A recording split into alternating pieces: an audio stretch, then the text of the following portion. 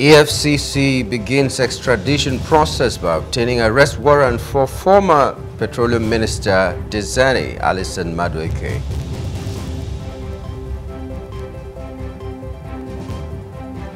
Group demands release of panel report on a number of extrajudicial killings.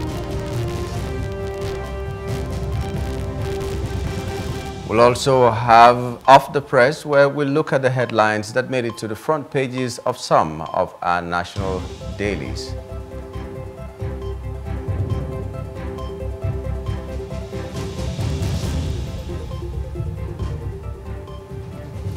Very good morning to you and thanks for joining us on the breakfast this morning. My name is Nyamgul Agaji. It's a Wednesday frenzy and we do hope that you're having a wonderful time. Whatever it is, may today be kind to you.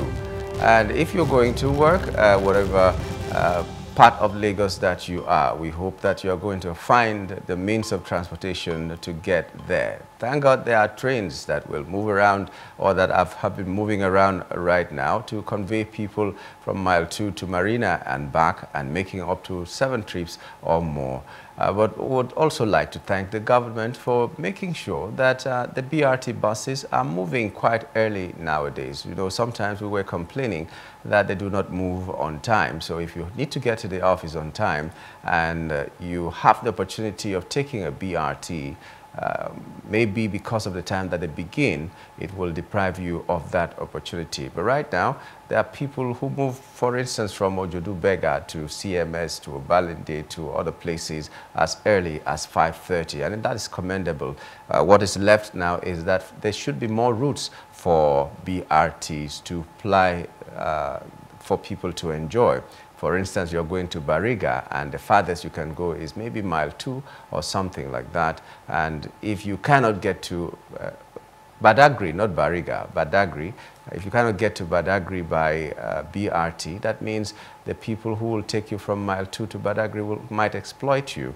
And all the benefits that Lagosians are enjoying by boarding BRT, they may not enjoy on that exit. It, that's not really fair. So something should be done about it. There should be more buses and there should be more routes to, uh, for the buses to ply. Okay, so there are some things that happened that we can say are top trending for us, and one of them is that the Chief of Army Staff has ordered investigation into allegations of troops poor feeding. Remember that the Chief of Army Staff, uh, Lieutenant General Taoreed Lagbaja, ordered this investigation into allegation of poor feeding of frontline troops in the Northeast Theater of Operation. The Director, Army Public Relations, Brigadier General Onyema Nwachukwu, made this known in a statement on Tuesday in Abuja, and he said that the welfare of troops has been given premium by the present leadership of the Nigerian Army and was one of the vital pillars of the Chief of Army Staff's command philosophy targeted at motivating the force.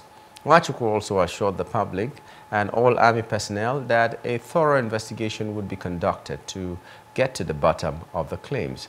He said the Nigerian army had always prioritized the welfare of troops, including their nutrition, adding that it has a comprehensive feeding system of troops, especially those serving at the front line. He, however, acknowledged that there may be isolated incidents where lapses occur, but assured that the Nigerian army is committed to addressing them. And according to him, an internal investigation has already been initiated to ascertain the truth behind the allegation, promising to thoroughly examine the supply chain, the quality of food provided, and any other factors that may have contributed to the situation. And that's why he stressed that the Nigerian army remained committed to transparency and accountability and would not condone any form of negligence or misconduct from their personnel. And he called on personnel to report any grievances or concerns they might have regarding their feeding arrangements through the established channels for feedback, assuring that prompt action would be taken to address any legitimate complaints. He also declared that the Army would continue to be resolute in the fight against insurgency and other security challenges and would ensure that its soldiers were provided with the necessary support and care to carry out their duties effectively. We do hope that they have also uh, upped their game in terms of allowances for the day. There was a time that we were hearing something like 500 naira a day, and which was raised to about 1,000 or 1,002 or thereabouts, and so on. So um, it's like in football. A lot of people say a lot of people who play uh, or players who play outside Nigeria are more committed to their clubs and not to the Nigerian national team. That is because they are confident that even if they get injured, even if they die, even if anything happens to them, they are sure of something getting back to their families. And that is not the case with uh, the Nigerian uh, Football Federation because you might be a national hero and then die so poor and if something happens to you, that is the end, or that might be the end of your career, your life, and any kind of prosperity that could have come to you. It could be the same thing with the Nigerian army. We do hope that something will be done about it to get more commitment from these people who protect our territorial integrity, who protect our lives and property, and doing even more they should be in the bushes uh, protecting our people. But they also do a lot within the society that um, maybe the police cannot do. So their duties are even more than they're supposed to be. The police is supposed to take care of the civil society and they are supposed to protect our territorial integrity and remain there. But that is not the case for our Nigerian uh, troops. They're fighting Boko Haram, they're fighting ISWAP, they're fighting so many people, and then they're still fighting uh, internal conflicts within the country. So the government should be deliberate about it. We also know that NPA has ejected policemen from barracks. Uh, occupants get uh, 200,000 naira each. Uh, there is this report that anxiety, there's anxiety among the police officers who reside in the Nigerian Port Authority barracks in the Sunrise Apapa area of Lagos as they have been asked by the NPA authorities uh, to exit the premises within two weeks. It is being uh, reported that the barracks have been sold and that residents were paid 200,000 naira each to leave the premises. While the policemen were initially given three months to vacate the barracks, the deadline had been reduced to two weeks which did not go down well with the affected persons. And now the fate of over 200 occupants of the barracks is uncertain while police authorities are being asked to intervene. Now I'm asking, uh, why did they eject them? They're saying that they've sold the place. They've sold the place to who? Uh, the police barracks sold to who? Uh, was it bought by the government itself? And then 200,000, what kind of a house will that get? Uh, the average um, uh, mini flat now, which is a, a, room and parlor, having a big name, just a room and parlor, uh, like Nigerians would say, room and parlor self-con. will not, you cannot get it for 200,000, except maybe you're getting it at some place like uh, Badagry, or you're going to the outskirts of uh, Lagos, you're going to uh, some places in Ogun State, like Ibafo, you're going to uh, Mowe, you're going to so many other places that you can get accommodation. But if you're saying Lagos State, 200,000 accommodation for the year, I'm not sure you can get uh, that that will be comfortable for you and your family. And this has been established by the government. So who did they sell it to? Who is making this money? Why is it just 200,000 naira that is going to be given to these people to settle them? How much were they paying when they were staying at the quarters? And if they were not paying anything or they were paying so small, that means it was part of a, a welfare package, so to speak. And now you're being, they're being uh, driven into, into the wild as it is with 200,000. Will this 200,000 be given every year? We'll still get the details from uh, what is happening and why this has to be had to be taken this decision had to be taken but we do hope that these families will not be stranded and they will find somewhere to lay their heads and then uh, OAU students protest tuition hike is another thing that uh, really interested us um, and we wanted to talk about. The students of Obafemi Awolowo University, Osun State, have staged a protest against the hike in school fees. The students who stormed the varsity uh, premises began to protest early Tuesday morning, carrying placards reading, when I they pay 20K, I they borrow money, where you want make I see 90K. so from 20 to 90K now. Uh, the other one was uh, hashtag fee must fall. I cannot afford to drop out.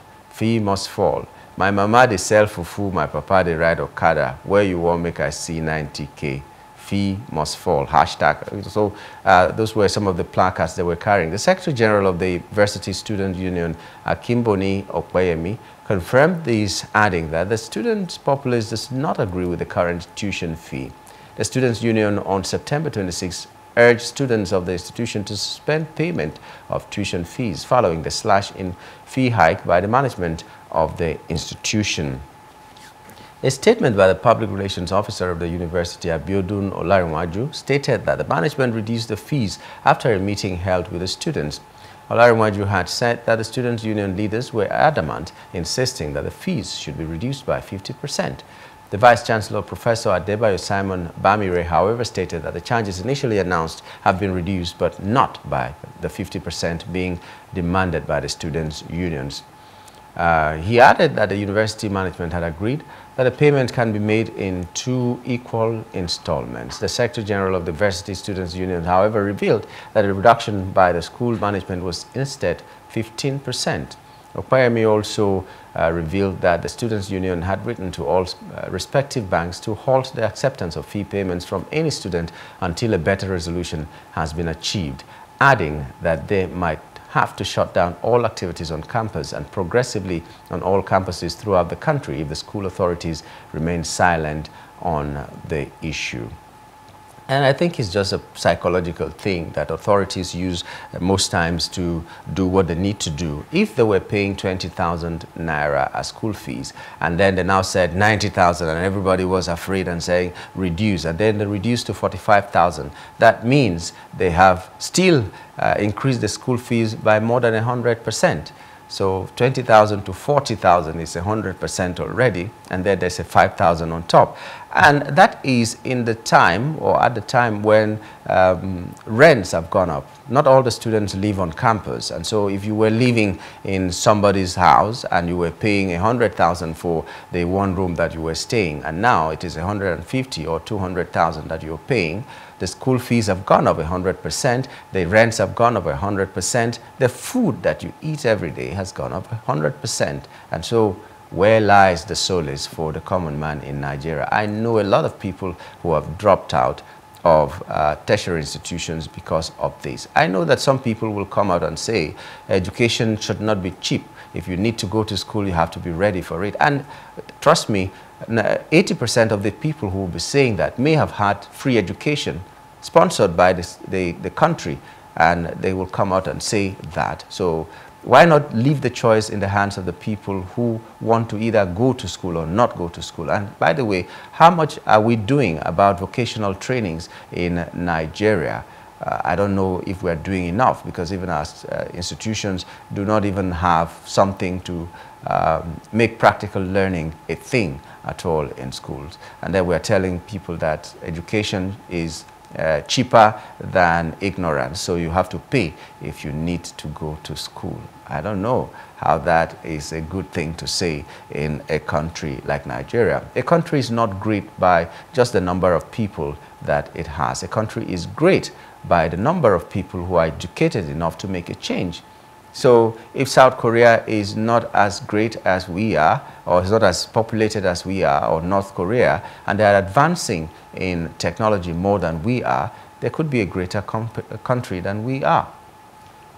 South Korea has invested about a billion dollars in AI training. How much has Nigeria done to invest in AI training? China is trying to invest in AI training to the tune of over $200 billion how much is Nigeria thinking about? And the future is technology, and then we're not talking about it. We're making uh, education so expensive that only the people that can afford it uh, at exorbitant prices can go to school again. So we're, we're making almajiris out of our children from north to the south. And I don't think that is going to be a good thing. But hey, I'm not a policymaker. Those who make policies and make laws for us, think about it. Because when we have more people on the streets trying to, using the Nigerian word, hustle, we may find it really terrible in the future. But that is not our portion. That's a Nigerian thing. That's not our portion. So we hope that something will be done about it, especially education. Now we heard that the budget will be better in education uh, from now on. But we also know that student loans that they said will come up in September, uh, I haven't heard much about it. If uh, something is being done about it, but I haven't heard, and so many Nigerians haven't heard. So the presidency should come out and tell us what is happening. How have people begun accessing these loans, and what is the criteria? Did they, did they adjust anything in the criteria? Because what they told us before um, was not practicable at all. Uh, so it was next to having nobody uh, going to access that loan. So they should be open to us and let's see how we move from there. It's still the breakfast on Plus TV Africa. Um, another thing that interested us um, was the fact that um, someone in the presidency in uh, a, a committee that is supposed to be um, for let's just say uh, someone in the presidency said that uh, we should pray as Nigerians that refineries should never work.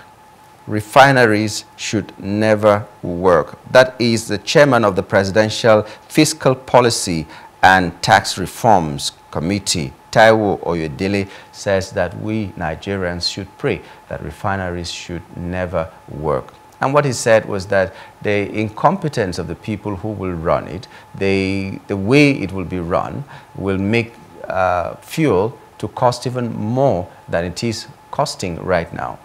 And a lot of people have come out to say that is a very cheap excuse. So if you feel that there is incompetence in the running of that thing, why not privatize it and make the private individuals run it uh, because they will do better? Why not put the mechanisms in place that will check uh, the people who have been running down our institutions in our country, Nigeria, why not be more proactive? For instance, the other time we were talking about the fact that if you go to the UAE, in just a single room, there is a screen of about 250 feet that monitors every blessed drop of oil in that country, where it's drilled from, where it goes, where it has reached at any particular point until it is the final product that goes to the people. And everything is accounted for. They know how much is uh, spent, how much is gained, and everything. And that can be affordable. That can be affordable by a country like Nigeria. But hey, nobody wants to think about that because we just feel, oh, Nigerian people, they will do X, Y, Z why not try and do something that will check everything? For instance, I remember a time when the governor of Cross River State, now it's in every state, the governor of Cross River State said there was not going to be payment uh, by hand anymore. Everybody will be receiving payment through banks they nearly beat him up. If he were not governor, I'm thinking they would have beaten him up uh, for bringing such a thing. Because people who were paying by hand, you will not have change for everybody who is collecting salary. So you will be dropping a, a hundred naira that change was not available to give to you. You'll be leaving five naira that change was not available to give to you. And at the end of the day, the people were feeding fat. And some people that may not be available to collect their salary for one thing or the other, for one reason or the other, had their salaries cut and all that. So he said, okay, we're going to go electronic. Everybody will be paid through the bank. We'll be doing verifications through the bank. The uproar was terrible. But at the end of the day, people started enjoying it. Nobody missed a cover from their money. So there are things that we can do, and knowing that technology has come to stay, AI is, has come to stay, everybody is talking technology. Why not think about technological ways or some other innovations that will make sure there is no wastage in any of our national assets? Well, that was what he said. And if Nigerians go on their knees to pray and pray that our refineries should not work, I wonder what we will be praying to work in Nigeria because whatever will be the result or the reason for these things, this refinery is failing and not producing optimally and doing what we're expecting it to do, uh, will also uh, enter into every other institution. So Nigeria should just fold their arms, or Nigerians should just fold their arms and, said, and say that Nigeria has gone bad, nothing can be done about it. Well, that is his own opinion, and we are entitled to our own opinion. But Nigeria must work and we have to put our hands uh, on deck, all of us, to make sure that it works. So ask yourself, what are you contributing to the growth of Nigeria? It's still the breakfast on Plus TV Africa. We'll take a break, and when we return, we'll be looking at the papers. Stay with us.